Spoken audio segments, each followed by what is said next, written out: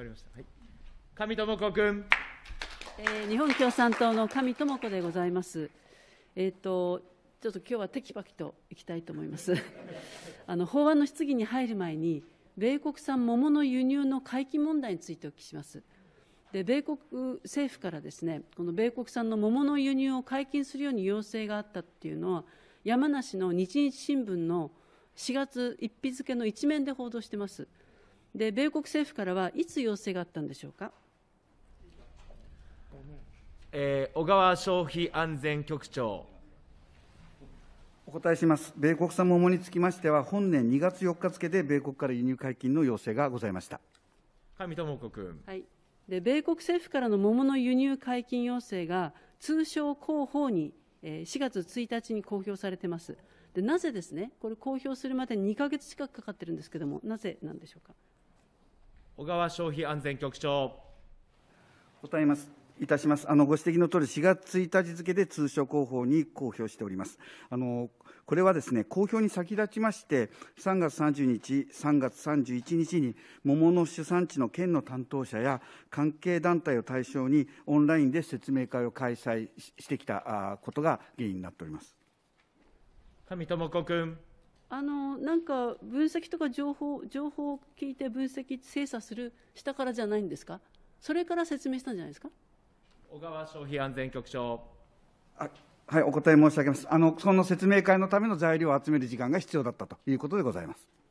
上智子君。それでその情報を集めて分析して何が分かりましたか？小川消費安全局長。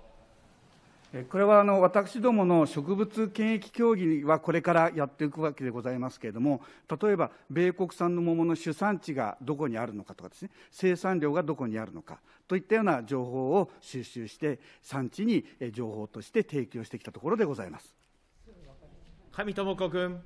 あの農水省としてね、その山梨県だとか福島県とか桃の産地の関係者には、いつどういう説明をされてますか？小川消費安全局長。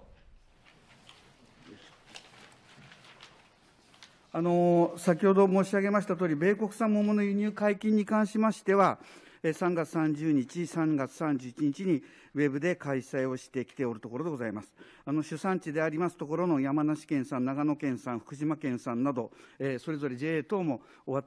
あのウェブ会議に参加していただきまして、えー輸入さをアメアメリカ側が輸出を希望している品種、あるいは、えー収穫時期などについてですね、えー情報を提供させていただいてきたところでございます。上智子君。まあ、ウェブでやってで、どういう収穫時がいいつかっていうことを話をされたっていうことなんですけど、あの資料配布とかは、じゃあ、ウェブだからやってないんですか？小川消費安全局長。大変申し訳ありません。今、あの語尾がちょっと聞き取れなかったんでございますけれども。上智子君。えっと、資料とかは配って説明したんですか？ウェブだから無理だったの資料を切ってる。小川消費安全局長。あの別途あのウェブ会議でございますけれども、えー資料についても電子的にあの配布をさせていただいているところでございます。上智子君。それでね、米国政府はなぜですね、今、このタイミングで桃の輸入解禁の要請をしてきたんでしょうか？小川消費安全局長。あの検疫当局といたしましては、そのなぜ今のタイミングで要請してきたかにつきましては、承知しておりません。上智子君。あのまあ、承知してないってことなんだけども、桃の生産がですね盛んな地域とか生産者で、その人たちは米国からいつどういう桃が日本に入ってくるんだろうかと、これはあの非常に心配をしてまして、収穫時期が重なったりするとね、これ、値崩れするんじゃないかとか、不安の声は尽きないわけなんですね。それで米国産の桃に寄生する病害虫のコドリンガっていうのは、これ、植物貿易上の輸入禁止病病害虫というふうになっているんですけど、どんな被害をもたらすんでしょうか、説明してください。小川消費安全局長。えーコドリンガにつきましてご質問をいただきました。これはあの幼虫がですね、えー桃、リンゴ、梨などの果実、あるいはくるみを食害することになります。えー具体的にはですね、えーコドリンガ自体は蛾なんですけれども、その幼虫が果実に穴を開け、商品価値をなくしてしまうといった害が発生するものでございます。上智子君。あのだから結構、桃だけじゃなくてね、いろんなものにも広がっていくっていうことなんですけど、このコトリンガが日本に入ってきたら、桃の産地に大きな被害が想定されるわけです。でこれからですねその権益の協議に入るってことなんだけれども、米国から桃の輸入をもし認めることになる場合、その条件というのは何でしょうか？小川消費安全局長。あのこれから権益協議を行ってまいります。で、その場合のまず一般原則で申し上げますと、ご存知かもしれませんが、WTO の SPS 協定、あるいは国際植物貿易条約における国際基準に基づきまして、まず、米国との間で、検疫の対象とすべき病害虫は何か、これはあのコドリンガ以外にも存在いたします。それから次に、この対象病害虫となった場合に、その侵入を防ぐためにどのような検疫措置が必要かということにつきまして、科学的根拠に基づき協議を行っていくことになります。従いまして、現時点では、具体的な検疫措置をどうするかについては決定をしておりません。今後、農水省としては、コドリンガをはじめとする病害虫、これの我が国への侵入を防止するため、さまざまなデータを要求、分析しながら、科学的知見に基づき、しっかりと協議してまいります。上智子君。これから中身は協議っていうんだけれども、完全にこれ、もしね、そういうものをそのででいる場合は、傍受できる傍受したものでないといけないということになると思うんですけど、そういうことってできるんでしょうか？小川消費安全局長。まずあの、コドリンガ自体はですね、非常に被害を講じるということが一つ、それから輸入時の検査で発見することが難しいので、植物貿易制度上は、まずコドリンガが発生する国からの桃の果実の輸入をまず禁止しております。でその例外となる場合にはですね、先ほど申し上げましたように、検疫措置について科学的データに基づき、えー、きっちりと消毒、あるいは滅却することができるといったことを確認させていただきます。上智子議員。あのね、青森の黒星病の話も出てますけどもね、日本にはもともとなかったけども、必ずそういう病害虫って入ってくるわけですよ。それでそのコドリンガについても、あの死滅する方法っていうのはね、これはどういうことがあるんですか、入ってくる前に。小川商品安全局長。先ほど申し上げましたとおり、まずあの、検疫の対象とする病害虫を決めます。で、それが決まった後あ通常でございますと、輸出する米国側からこういった措置で、えー、対処してまいりたいというものがございまして、それに必要なデータを私たちは提出していただきまして、チェックをするといったプロセスになります。現時点でまだ提案がございませんので、今後協議をしていくということで、えー、ご了解いただきたいと思います。上智子君あの死滅するためにね、例えば燻蒸するとか、消毒をするとか、農薬をやるとか、そういったことっていうのはあるんでしょうかね？小川消費安全局長。あの一般論で申し上げますと、虫でございますので、えー、一つは、えー、熱をかけて殺すで、もう一つは凍らせて殺す、三つ目は薬で殺す、こういったようなことが考えられると思います上智子君。まあね、熱でとかっていうのがあるんだけども、要するにその薬をってことになると、実際に今までもそうですけどねポストハーベストであったり農薬をかけたりっていうことで入ってきた場合に今度はあの健康の問題っていうことにもねつながりますのでそこはですねやっぱり米国政府からねあのそのつもりはないっていうかもしれませんけど言われるままにですね輸入解禁要請を受け入れて粛々と進める必要はないと思うんです。山梨県の知事も記者会見でですねアメリカから言われたら何でもマーケットを開きますってやってられないとで国も当事者意識を持って考えるべきだっていうふうにあの大変怒りに満ちた発言をされていてこれはあのすももの時はねほとんど何も知らさないままいきなり入ってきたっていうことがあったもんですから非常に怒ってるわけです。で米国からの要請にはですねそういう意味では毅然とした態度で臨むように求めておきたいと思います。えー、では、えー、輸出促進法の改正案についてお聞きします。安倍政権以来、政府は農林水産省や食品の輸出に軸足を置いて、農政を進めてきました。それで円安の影響もあると思いますけれども、農林水産物、食品の輸出額が2021年に初めて1兆円を超えたと。で政府は輸出拡大を進めてきたわけですけれども、あのこれをやりながらですね、農家っていうのは、これで利益が上がったんでしょうか、所得が増えたんでしょうか？金子農林水産大臣。えー、国内の食市場が縮小する一方で、世界の食市場は今後、大幅に拡大することが、えー、見込まれる中、輸出に取り組むことは、我が国の農林漁業の市場規模拡大を図るものであり、農林漁業者の所得向上に資するものであると考えています。実際に所得向上につながった事例としては、宮城県で輸出用に低価格で安定した品質の米を供給するために、多種多種品多種性品種の導入等によりまして、低コスト生産を推進し、それにより輸出量が拡大している事例もあります。また、茨城県では、さつまいもを長期保存することによりまして、年間を通じて輸出する体制を確立し、コロナ禍の家庭家庭食需要の高まりと相まって、輸出額及び輸出量がともに前年比15倍になった事例などがあります。また、輸出拡大に取り組んだことの効果として、地域農業の維持拡大、国内で取引されない規格外の品等の販売による売上の確保、地域の活性化、雇用の創出などにもつながっているという声も聞かれております。えこのように輸出の拡大は、農林漁業者の所得の向上等をもたらすものですが、農林水産物食品の生産額に占める輸出の割合は、現状で 2%, 2程度であり、農林水産業全体の所得に目に見える効果はまだ大きくありませんが、今後、輸出をさらに拡大することによりまして、より多くの農林漁業者の所得向上につながるように努めてまいります上智子君。まあ、個別の、ね、事例を聞いたわけでなくて、全体としてどうなのかということをスパッと答えてほしかったんですね。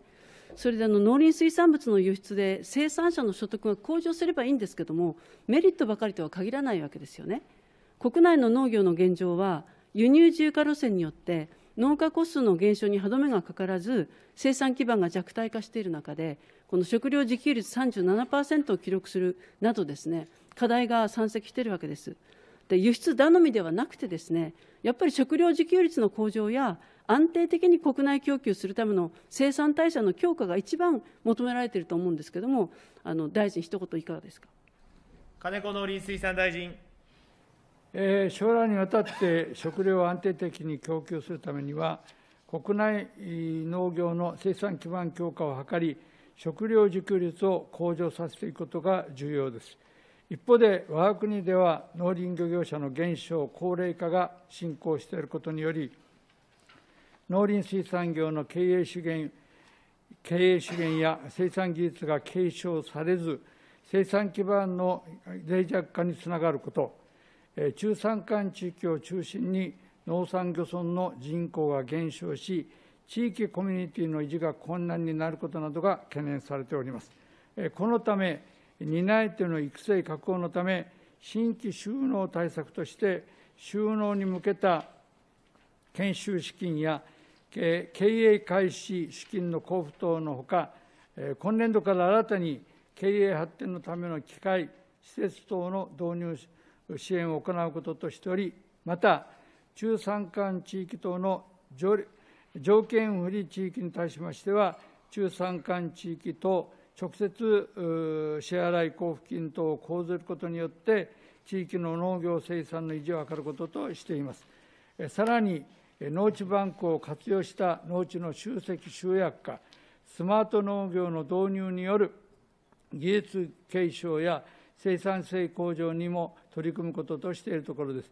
これらの政策によりまし、施策によりまして、国内の需要にも輸出にも対応できる国内農業の生産基盤の強化を図り、食料自給率の向上を実現してまいりたいと考えております。上智子君。あの今やっぱり食料自給率の重要性が問われていると思うんですよね。長引くコロナ危機に加えて、今度のロシアのウクライナの侵略に伴って、この食料の多くを輸入に依存している日本っていうのは、海外の影響を受けやすいわけですよね。自国の食料は自国で賄うっていうことをですね基本にするように求めたいと思います。でちょっと一問飛ばします。で輸出事業への参画を希望する生産者、えー、中小企業が抱える一番の課題っていうのは、やっぱり海外での情報収集ですとかね、売り先の開拓、確保だと思うんです。で輸出に取り組もうとする生産者や中小企業は、法改正によって、この農林水産物、食品の輸出促進団体の支援を受けられるということでしょうか、大臣。金子農林水産大臣。えー、認定農林水産物食品輸出促進団体は、日本の強みを発揮できる品目の輸出を伸ばすため、主要な輸出品輸出品目ごとに業界一体となって、オールジャパンで輸出拡大に取り組む団体です。このため、生産から販売に至るまでの幅広い一連の関係者が構成員として加入する等により、緊密な連携体制を構築しまして、活動を行うことといたしております。オールジャパンで輸出拡大に取り組むためには、広く門戸を開き、希望する関係者に幅広く加入いただくことが適切です。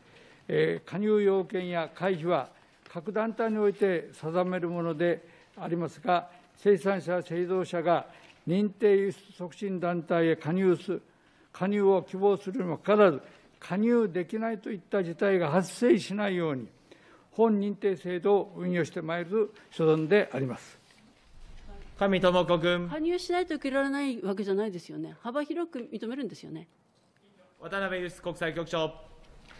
お答えをいたします。あの認定のの輸出促進団体でございますけれども、必ずしもあの加入をしないからといってですね、あのそのオールジャパンでの例えばブランディングですとか、あの販売のあのプロモーションですとか、そういったもののですね、えー、便益が受けられないというわけではございません。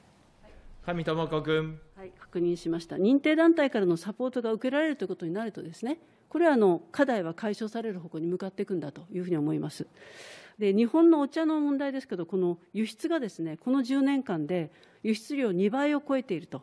で2021年には輸出量、輸出金額とともに、え過去最高となっています。で静岡県にあります日本、えー、茶日本茶の輸出組合の副理事長さんからお話をお聞きしました。で抹茶やお茶の粉末っていうのは今アメリカを中心にあのコーヒーチェーン店などで取引されているそうです。で日本茶は、え今や嗜好品ということではなくて、え機能性食品に位置づけられていて大量生産大量消費の時代になってきているというふうに言うんですね。でそこで輸出ではなくてですね国内の消費量はどのように推移しているのかお聞きします。平方農産局長。はいえー、国内の消費量ですけれども、まあ、直近10年間の傾向を見ますと、ペットボトル等の、えー、緑茶飲料は3割以上増加しておりますけれども、急須で入れるようなリーフ茶の需要は約2割減少しております。えー、緑茶の国内の消費量全体といたしましては、えー、平成23年、8万5106トン、えー、平成3年、7万5115トンと、約1割減少しております。あえっと、あすみません、令和3年でございます。令和3年7万5115トン、約1割減少しておりますが、実は令和2年、お茶の生産量はですね、新型コロナウイルスの蔓延がございまして、15%生産量減りました。で令和3年はですね、えーえー、生産量が12%持ち直していると、まあ、その傾向もちょっと若干入っているかと思います。減少してきていると、日本茶の輸出がですね伸びる一方で、国内での消費が減っているわけです。で昔から国内の消費者に向けて、お茶の生産に取り組んできた生産者の離農が相次いでいます。農林業センサスを見ても、日本茶の販売農家戸数は、2000年の時は5万3000いくらかあの何個かあったんですけど、2020年までのこの20年間でいうと、あの5万以上あったやつが2万数千ということですよね、あ1万ですね。